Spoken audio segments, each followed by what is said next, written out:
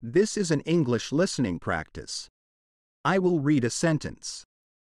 Please fill the blank space with a word.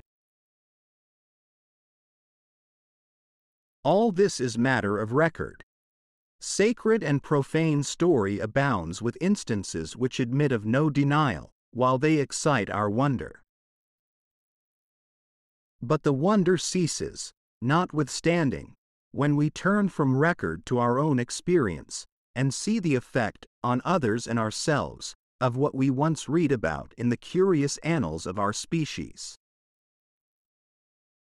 We now see the finished sculpture that delighted and softened the people of an age, gazed on and admired by every being whom we are accustomed to regard as rational.